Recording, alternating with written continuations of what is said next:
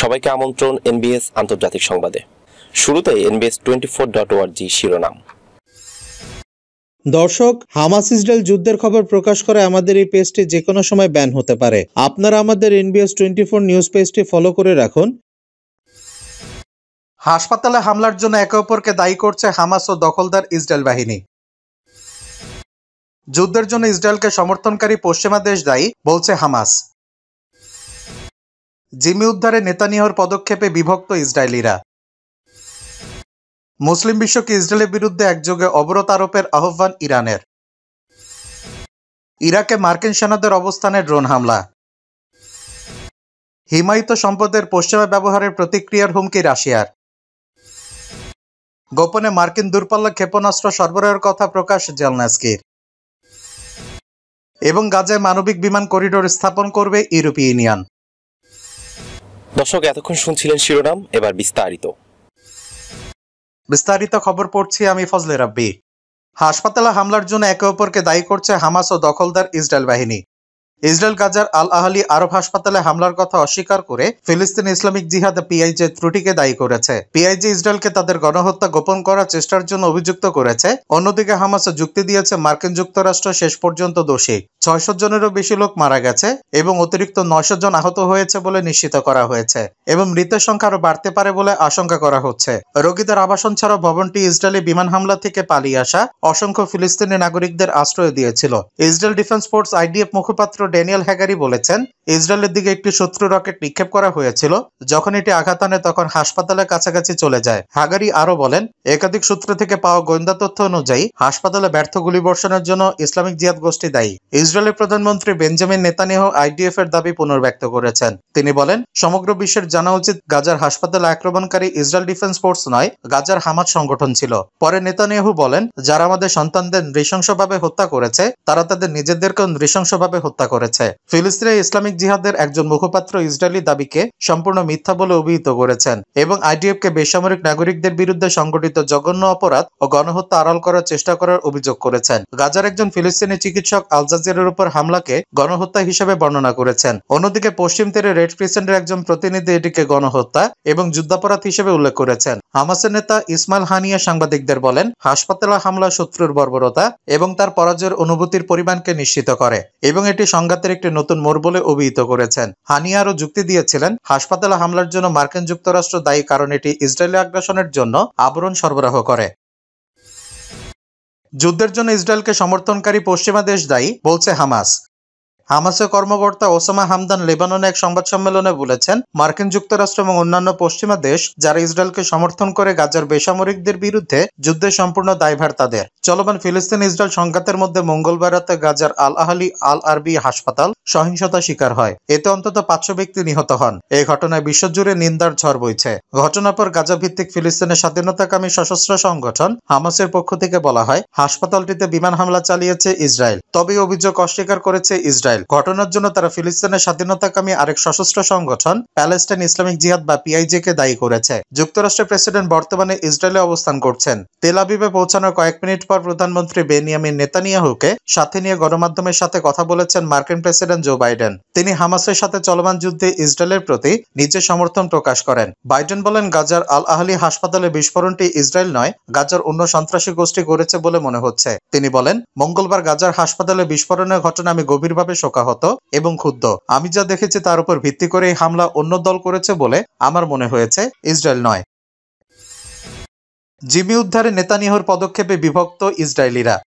ফিলিস্তিনের সশস্ত্র গোষ্ঠী হামাসের নজিরবিহীন হামলার পর যুদ্ধ ঘোষণা করা ইসরায়েলি প্রধানমন্ত্রী বেনিয়ামিন নেতানিয়াহু যুক্তরাষ্ট্র সহ পশ্চিমা মিত্রদের দৃঢ় সমর্থন পেয়েছেন। কিন্তু হামাসের হাতে একশো নিরানব্বই জন জিম্মি উদ্ধারে তার নেওয়া পদক্ষেপে ইসরায়েলিদের মধ্যে বিভক্তি দেখা দিয়েছে। জিম্মিদের আত্মীয় স্বজনরা তেল আবিবে বিক্ষোভ করেছেন। ব্রিটিশ সংবাদ মাধ্যম বিবিসি এ খবর জানিয়েছে, তেল আবিবে ইসরায়েলি সেনাবাহিনীর সদর দপ্তরের সামনে জিম্মিদের পরিবারের পক্ষ থেকে বিক্ষোভ হয়েছে। তাদের মধ্যে একজন হলেন নিখোঁজ উনিশ বছর বয়সী রনি এশেলের দাদি জেহেবা এশেল। তিনি বলেছেন, রনি রনিকে রক্ষার দায়িত্ব ছিল রাষ্ট্রের। রাষ্ট্র কোথায়? সেনাবাহিনী ও সরকারের পক্ষ থেকে যোগাযোগে ঘাটতি রয়েছে বলে অভিযোগ করেছেন তিনি। তার প্রশ্ন, মন্ত্রীরা কোথায়? প্রধানমন্ত্রী কোথায়? উচ্চপদস্থ কর্মকর্তারা কোথায়? নিখোঁজ রনি এশেলের দাদির মতো একশো নিরানব্বই জন জিম্মি ও নিখোঁজদের স্বজনরা বিক্ষোভ করেছেন। তাদের মুক্ত করতে সরকারের পদক্ষেপ দাবি করেছেন তারা। সম্ভাব্য পদক্ষেপ হিসেবে তারা বন্দি বিনিময়ের কথা বলছেন। বিক্ষোভে অংশ নিয়ে অনেকে সরকারের সমালোচনা করতে খুব সতর্ক।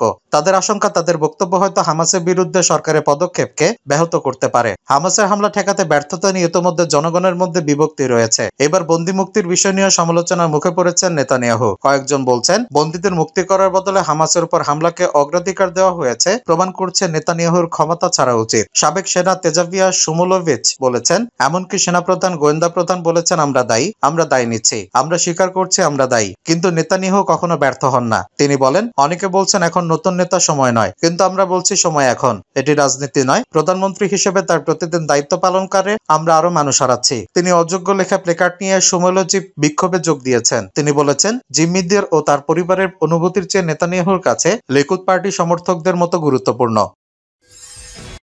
মুসলিম বিশ্বকে ইসরায়েলের বিরুদ্ধে একযোগে অবরোধ আরোপের আহ্বান ইরানের। ইসরায়েলের বিরুদ্ধে সম্মিলিত অবরোধ আরোপ করতে মুসলিম বিশ্বের প্রতি আহ্বান জানিয়েছে ইরান। ইরানের পররাষ্ট্রমন্ত্রী হোসেন আমির আবদুল্লাহিয়ান বুধবার ওয়াইসি বৈঠকে এ আহ্বান জানান। পাশাপাশি যেসব মুসলিম দেশে ইসরায়েলি রাষ্ট্রদূত রয়েছে, তাদেরকে বহিষ্কারের দাবিও তোলেন তিনি। এই খবর দিয়েছে আরব নিউজ। খবরে জানানো হয়, সৌদি আরবের জেদ্দা শহরে ইসরায়েল ফিলিস্তিন চলমান সংঘাত নিয়ে জরুরি বৈঠক ডাকে ওআইসি গাজার হাসপাতালে ইসরায়েলের একটি মিসাইল হামলায় পাঁচ শতাধিক মানুষ নিহত হওয়ার পরদিনই বৈঠকে বসেন মুসলিম দেশের প্রতিনিধিরা। ইরানি পররাষ্ট্র মন্ত্রণালয় থেকে দেয়া এক বিবৃতিতে বলা হয়, ওয়াইসি বৈঠক অংশ নেওয়া দেশগুলোকে ইসরায়েলের বিরুদ্ধে সম্মিলিত অবরোধ আরোপের আহ্বান জানিয়েছেন পররাষ্ট্রমন্ত্রী। এছাড়া ইসরায়েল গাজায় যে যুদ্ধাপরাধ চালাচ্ছে তার বিরুদ্ধে আইনি লড়াই চালাতে ইসলামিক দেশগুলোকে আইনজীবীদের একটি দল গঠনের প্রস্তাব দেন তিনি। গাজার হাসপাতালে ইসরায়েলি হামলার পর রাষ্ট্রীয় শোক ঘোষণা করেছে ইরান। সামাজিক যোগাযোগ মাধ্যম এক্সে ইরানের প্রেসিডেন্ট ইব্রাহিম রাইসি বলেন, গাজার হাসপাতাল আহত নিপীড়িত মানুষের উপর যুক্তরাষ্ট্র ইসরায়েলের তৈরি যে বোমা ফেলা হয়েছে, তার আগুন দ্রুতই তাদেরকে গ্রাস করবে। এই যুদ্ধাপরাধের মুখে কোনো আদর্শবান ব্যক্তি নীরব থাকতে পারে না। ইরাকে মার্কিন সেনাদের অবস্থানে ড্রোন হামলা। ইরাকে মার্কিন সৈন্যদের অবস্থান লক্ষ্য করে দুটি ড্রোন হামলা হয়েছে। তবে যুক্তরাষ্ট্রের সামরিক বাহিনীর লক্ষ্যবস্তুতে আঘাত আনার আগেই ড্রোন দুটিকে ভূপাতিত করার দাবি করেছে। গাজায় হামাসের সাথে ইসরায়েলের বিরুদ্ধে ওয়াশিংটন হস্তক্ষেপ করলে ক্ষেপণাস্ত্র ড্রোন দিয়ে মার্কিন স্বার্থকে লক্ষ্যবস্তু করা হবে বলে হুমকি দিয়েছিল ইরানের সাথে সংশ্লিষ্ট ইরাকি সশস্ত্র গোষ্ঠীগুলো। যুক্তরাষ্ট্রের দুজন সরকারি কর্মকর্তা বলেছেন, এক বছরের বেশি সময় পর ইরানে মার্কিন সৈন্যদের অবস্থানে এই ধরনের হামলা ঘটনা ঘটেছে। নাম প্রকাশ না করার শর্তে এই কর্মকর্তারা রয়টার্সের সাথে কথা বলেছেন। তারাই হামলা হামলার পেছনে সন্দেহভাজন হিসেবে কারা জড়িত, সে বিষয়ে মন্তব্য করতে অস্বীকৃতি জানিয়েছেন। তবে হামাস ইসরায়েল যুদ্ধ নিয়ে অঞ্চলে ক্রমবর্ধমান উত্তেজনার মাঝে ইরান সমর্থিত মিলিশিয়া গোষ্ঠীগুলো কর্মকাণ্ডের বিষয়ে ওয়াশিংটন উচ্চ সতর্ক অবস্থায় রয়েছে। হিমায়িত সম্পদের পশ্চিমা ব্যবহারের প্রতিক্রিয়ার হুমকি রাশিয়ার। আশারক টিভিকে দেওয়া এক সাক্ষাৎকারে অর্থমন্ত্রী আস্তন সিলিয়ানভ হুঁশিয়ারি দিয়ে বলেছেন, পশ্চিমা দেশগুলো যদি রাশিয়ার হিমায়িত সম্পদ থেকে প্রাপ্ত রাজস্ব ব্যবহার করে, তবে মস্কো একই ধরনের পদক্ষেপ নেবে। সিলিয়ানভ ইউক্রেনের পুনর্গঠনের জন্য রাশিয়ার হিমায়িত সম্পদ বিনিয়োগ থেকে প্রাপ্ত অর্থ ব্যবহার করার জন্য বেশ কয়েকটি দেশের সাম্প্রতিকতম প্রস্তাবের বিষয়ে মন্তব্য করেছিলেন। অর্থমন্ত্রী বলেন, আমরা শত্রু দেশগুলোর তহবিলও হিমসতল করেছি। তাহলে এক্ষেত্রে আমরা একই কাজ করব। ইউক্রেনে মস্কো সামরিক অভিযান শুরু হওয়ার পর থেকে প্রায় তিনশো বিলিয়ন ডলারের রাশিয়ান বৈদেশিক মুদ্রা মজুত করে করে দেওয়া হয়েছে বলে জানা গেছে। সরকারি হিসেব অনুযায়ী রাশিয়ার কেন্দ্রীয় ব্যাংকের রিজার্ভ দুই সালে আট দশমিক চার শতাংশ কমেছে। জুলাই মাসে বেলজিয়াম ভিত্তিক একটি উল্লেখযোগ্য EU clearing house, Euroclear প্রকাশ করেছে যে এটি দুই সালে প্রথমার্ধে অর্জিত দুই দশমিক দুই আট বিলিয়ন ইউরোর মধ্যে এক দশমিক সাত বিলিয়ন ইউরো হিমায়িত রাশিয়ান সম্পদ থেকে এসেছে। ইউরো ক্লিয়ারের রাশিয়ান সম্পদের পরিমাণ একশো ছিয়ানব্বই দশমিক ছয় বিলিয়ন ইউরো বলে অনুমান করা যায়, যার বেশিরভাগই ব্যাংক অফ রাশিয়ার অন্তর্গত। দুই হাজার বাইশ সালে ফেব্রুয়ারি থেকে ইউ রাশিয়া সম্পদ সঞ্চয়ে দুইশো সাত বিলিয়ন ইউরো বাজেয়াপ্ত করেছে বলে জানা গেছে। গোপনে মার্কিন দূরপাল্লা ক্ষেপণাস্ত্র সরবরাহের কথা প্রকাশ জেলনেস্কির। ইউক্রেনের রাষ্ট্রপতি ভলোদিমির জেলনেসকে বলেছেন ইউক্রেন রাশিয়ার সাথে দ্বন্দ্বে মার্কিন যুক্তরাষ্ট্র সরবরাহ করা এটিএসএমএস দূরপাল্লার ক্ষেপণাস্ত্র ব্যবহার করেছে। ওয়াল স্ট্রিট জার্নালকে উদ্ধৃত করে রুশ গণমাধ্যম মাটির খবরে বলা হয়, ওয়াশিংটন গোপনে কিয়েভকে গোলাবারুদ সরবরাহ করেছিল। তিনি বলেন, এই দিন আমি মার্কিন যুক্তরাষ্ট্রের কাছে অত্যন্ত কৃতজ্ঞ। প্রেসিডেন্ট জো বাইডেনের সঙ্গে আমাদের চুক্তি বাস্তবায়নের কাজ চলছে এবং এগুলো অত্যন্ত নির্ভুলতার সাথে প্রয়োগ করা হচ্ছে। এটিএসএমএস তাদের মূল্য প্রমাণ করেছে। জেলনেসকে একটি ভিডিও বার্তায় বলেছেন, লুগানস্ক এবং ছাপুরিজিয়েতে ইউক্রেনের সামরিক বাহিনী একটি বিবৃতি জারি করে দাবি করে যে, তারা সুনির্দিষ্ট নির্ভুলতার সাথে শত্রু বিমান ক্ষেত্র এবং হেলিকপ্টারগুলিকে লক্ষ্যবস্তু করেছে। ওয়াল স্ট্রিট জার্নালের মতে, ইউক্রেন প্রথমবারের মতো মার্কিন যুক্তরাষ্ট্রে সরবরাহ করা আর্মি ট্যাকটিক্যাল মিসাইল সিস্টেম বা এটিএসএমএস ব্যবহার করেছিল। পরিস্থিতি সম্পর্কে অবগত সূত্রে বরাদ দিয়ে সংস্থাটি জানিয়েছে, ক্ষেপণাস্ত্রগুলো একটি অল্প সংখ্যক ইউক্রেনে গোপনে পাঠানো হয়েছিল। জার্নাল জানিয়েছে এটিএসএমএস প্রজেক্টাইলগুলির তিনশো পাঁচ কিলোমিটার পর্যন্ত পরিসীমা রয়েছে। তবে কিয়েভ সরবরাহ করা মডেলগুলির প্রায় একশো ষাট কিলোমিটার পরিসীমা রয়েছে। সেপ্টেম্বরের শেষের দিকে মার্কিন গণমাধ্যমে ব্যাপক অনুমান করা হয়েছিল যে রাষ্ট্রপতি জো বাইডেন প্রশাসন কিয়েভ ক্লাস্টার সশস্ত্র এটিএসএ এমএস প্রেরণ করবে। তবে এটি আনুষ্ঠানিকভাবে কখনো ঘোষণা করা হয়নি। ক্ষেপণাস্ত্রগুলি গত বছর মার্কিন সরবরাহকৃত high mobility artillery rocket system বা হিমার্স লঞ্চার থেকে উৎক্ষেপণ করা হয়েছিল। দুই হাজার সতেরো সালের ডিসেম্বরে জার্নালটি জানায়, মার্কিন যুক্তরাষ্ট্র এটিএসএ এমএস নিষ্ক্রিয় করার জন্য H I M A R HIMARS লঞ্চারগুলিকে গোপনে পরিবর্তন করেছে। পশ্চিমা গণমাধ্যমের সঙ্গে যোগাযোগ করা বেনামি সূত্রের মতে ওয়াশিংটন এর আগে কিয়েভকে রাশিয়ার ভূখণ্ডে আক্রমণ করতে সক্ষম অস্ত্র সরবরাহ করতে দ্বিধা করেছিল। গাজে মানবিক বিমান করিডোর স্থাপন করবে ইউরোপীয় ইউনিয়ন। ইউরোপীয় কমিশনের সভাপতি উর্সোলা ভন্ডার লেন জানিয়েছেন, ইউরোপীয় ইউনিয়ন বা ইউ মিশর হয়ে গাজা একটি মানবিক বিমান করিডোর স্থাপন করবে।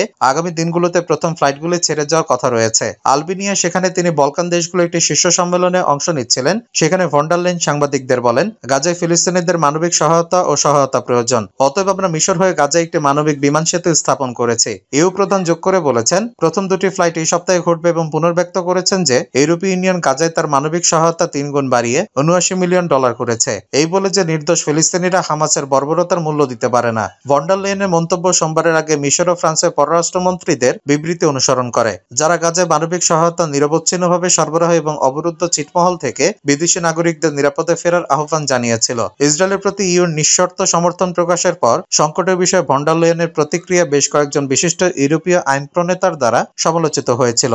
গত সপ্তাহে বেইজিং এ বোরেল সাংবাদিকদের বলেন, আমরা অবশ্যই ইসরায়েলের যে আক্রমণ শিকার হচ্ছে তার বিরুদ্ধে নিজেকে রক্ষা করার অধিকারকে রক্ষা করি, কিন্তু যে কোনো অধিকারের মতো এরও একটি সীমা রয়েছে এবং সেই সীমা হলো আন্তর্জাতিক আইন এবং আন্তর্জাতিক মানবিক আইন। এছাড়া তিনি হুঁশিয়ারি দিয়েছিলেন যে ইসরায়েলের প্রতিশোধমূলক পদক্ষেপ গাজায় মানবিক বিপর্যয়ের সূত্রপাত করতে পারে। জাতিসংঘের একটি অনুমান অনুযায়ী, ক্ষেপণাস্ত্র হামলার ফলে গাজায় প্রায় দশ লক্ষ মানুষ বাস্তুচ্যুত হয়েছে, যা ছিটমহলের বেশিরভাগ অবকাঠামো ধ্বংস করেছে।